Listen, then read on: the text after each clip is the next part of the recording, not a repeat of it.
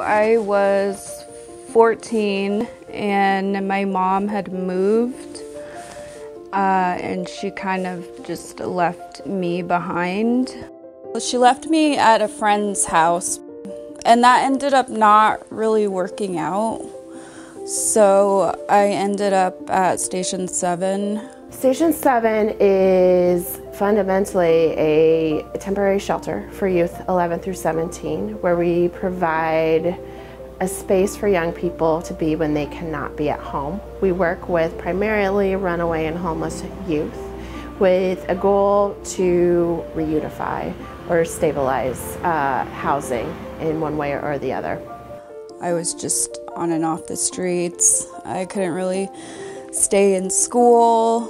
Um, it was really hard to keep myself on track because it was just me. Ended up meeting a guy and um, I ended up getting pregnant and then having the child. Um, so after I got my apartment and all that, um, I ended up losing it again, and my life kind of just. I was I was 16. I mean, I don't even know how I kept the apartment for as long as I did. So I ended up moving all my stuff out of the apartment, and um, I remember just loading it all up in the truck and getting dropped off at Station 7 at like, I'm sorry. I haven't talked about this for so long.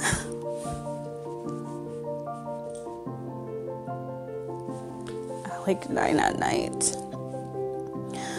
And uh, I can't remember if I like had to bring some of my stuff from the apartment and they let me store it there. But yeah, that was the only place I could go at the time.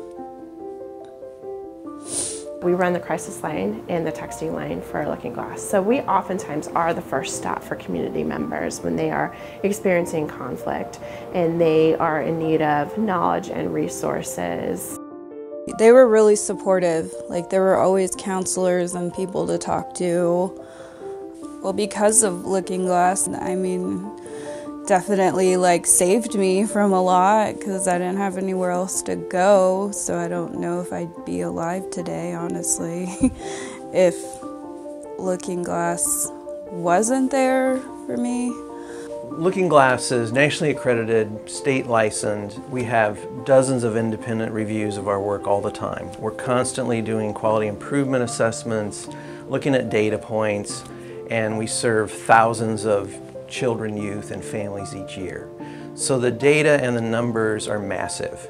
And what was really striking to me is how important it is to remember as we look at all this data that behind every one of those one of a thousand numbers is a story.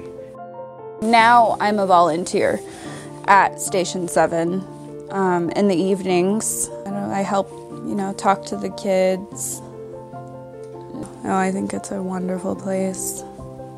And as I listened to Angel, it really brought home to me the fact that there's all this number and assessment going on, and what we're really talking about in each one of those is the way we touch individual lives and help them along the way.